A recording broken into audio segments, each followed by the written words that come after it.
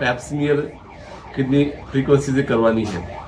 अगर आपकी एज 21 साल से कम है तो इसकी कोई ज़रूरत नहीं है। अगर आपकी एज 21 से 29 साल के बीच है तो उसको हर तीन साल में रिपीट करना ज़रूरी है। अगर आपकी एज 30 से पैंसठ के बीच में है तो उसको हर तीन साल में रिपीट करना है।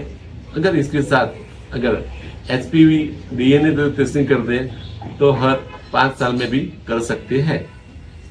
अगर आपकी एज पैंसठ से ज़्यादा है और पुराने रिपोर्ट नेगेटिव या नॉर्मल है तो इसकी कोई ज़रूरत नहीं है।